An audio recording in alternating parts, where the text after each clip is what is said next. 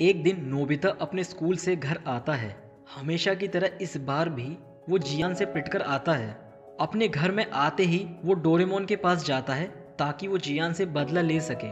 लेकिन जैसे ही वो कमरे में अंदर आता है, वो देखता है कि डोरेमोन ज़मीन पर गिरा पड़ा है।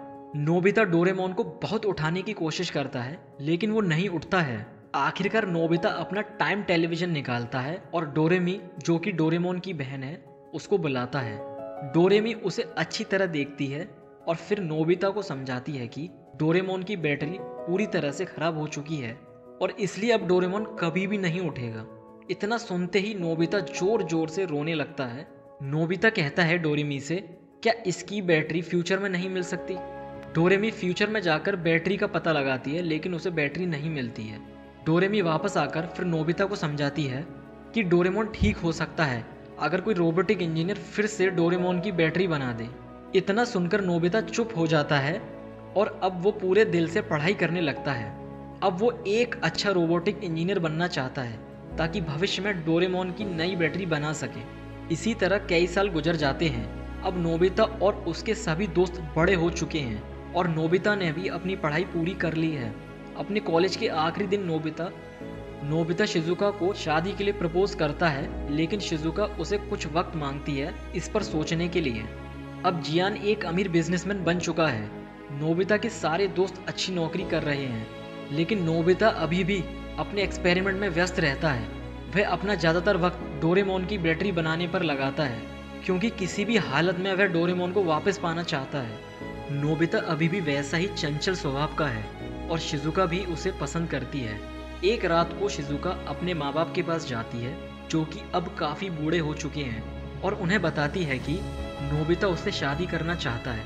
इतना सुनते ही शिजुका के पिता कहते हैं कि, बेटी शिजुका, नोबिता से ज़्यादा नेक और साफ़ दिल का व्यक्ति तुम्हें कहीं और नहीं मिलेगा, इसलिए तुम उससे शादी कर लो। इतना सुनते ही शिजुका बहुत खुश होती है और नोबिता को फ़ौरन शादी के लिए हाँ कर देती है। कुछ ही दिनों में नोबिता और शिजुका की शादी हो जाती है और वो दोनों अपनी ज़िंदगी में बहुत खुशी से रहने लगते हैं। शादी के कुछ दिन बाद शाम के वक्त शिजुका नोबिता को कॉफ़ी देने के लिए कमरे में आती है।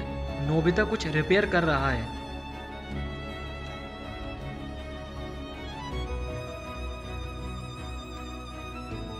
तभी नोबिता चिल्लाता है, मैंने कर दिखाया, मैंने कर दिखाया।